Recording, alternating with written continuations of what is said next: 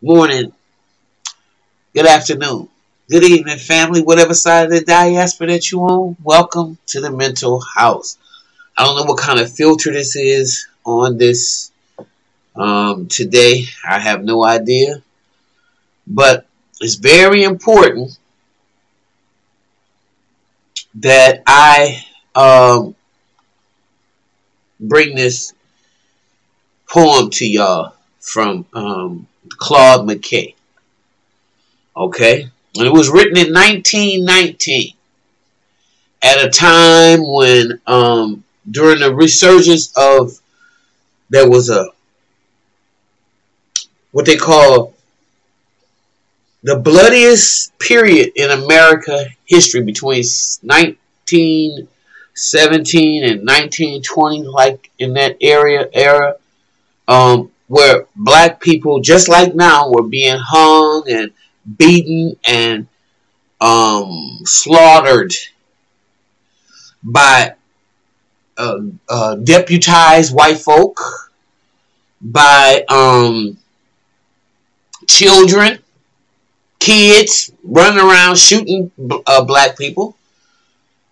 And this is very important for me to bring this to y'all because I my whole purpose is to let black people know that it can happen to us again. And it is happening to us. And it's going to keep escalating more and more and more until we go into the ovens, just like the Jews. But fortunately for them, they got a mantra. And they say, never again.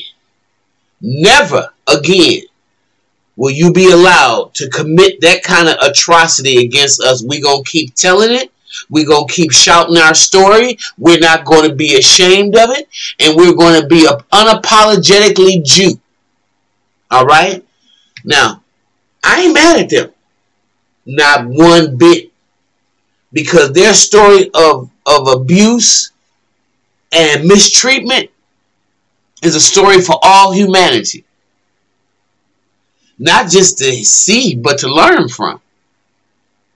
So here we are. On the um envy precipices of being a people who have never ever, ever, ever, ever, ever, ever, ever been free since we've been in this country. We've never, ever, ever been, I mean, remotely, remotely treated like we were first class citizens since we got here. We still letting these people define us. These berserkers, these people who have all through history shown you how evil and mad that they have been, but they have defined us, and we've allowed them to. And I think one of the worst stories that I, I'm, I'm dealing with right now is being here in Wisconsin.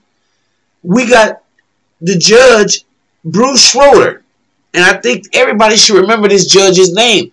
Flood the court systems. We got to get rid of these corrupt judges. These are some of the judges that Donald Trump put in. People, so when people say Donald Trump is not just a, um, you know, he didn't cause this. He's a symptom.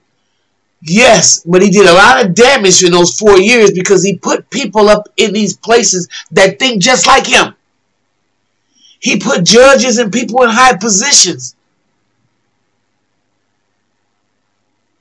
to help keep us in bondage. So you got this week, Judge Bruce Schroeder denied two motions by prosecutor.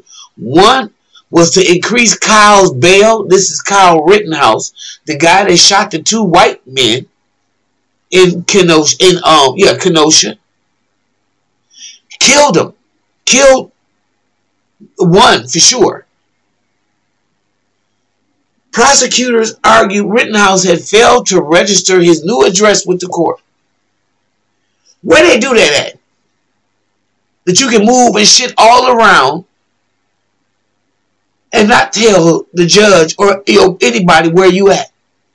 Listen, they kept making me go to court for a whole year and a half about an election fraud.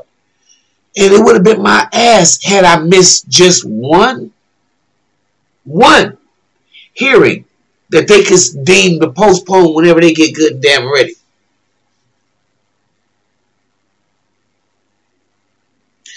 We got a problem here in America, y'all. We better wake up. We have got to wake up.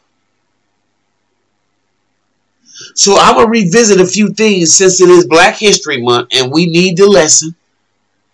There's some of us who thought that Black History Month was was not necessary. But if I ever thought that way, I stand to be corrected. It's needed now more than ever.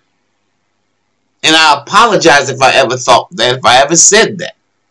Just to cover the ground.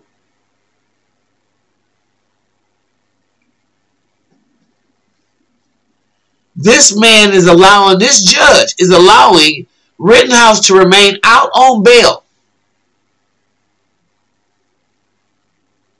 He's violated all the conditions of his freaking release. And they don't give a damn. Because he's white. And this is the kind of stuff that I want to put something in our ear because we can't go on like this. We cannot go on letting these people treat us like this. Period. It's just that simple. So if we must die, if we must die, let it not, not be like hogs hunted and pinned in an inglorious spot while round us bark the mad and hungry dogs, making their mock out of our accursed lot. If we must die, oh, let us nobly die, so that our precious blood may not be shed in vain.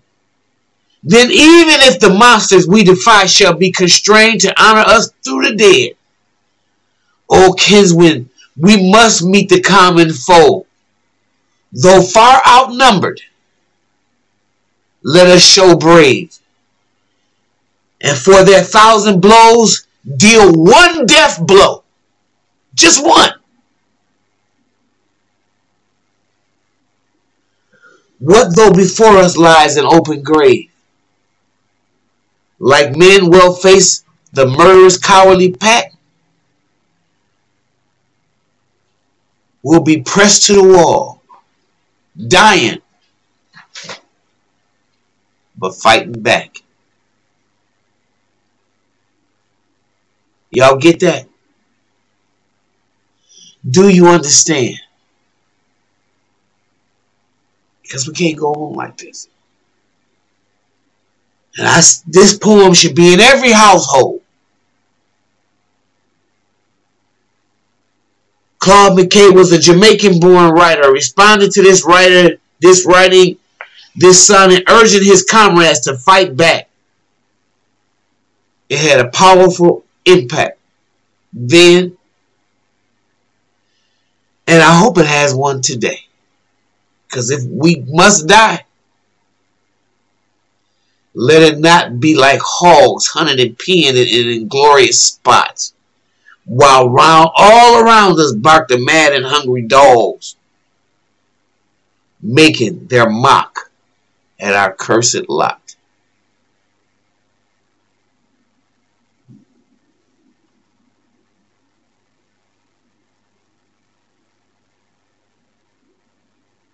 Judge Schroeder need to be checked.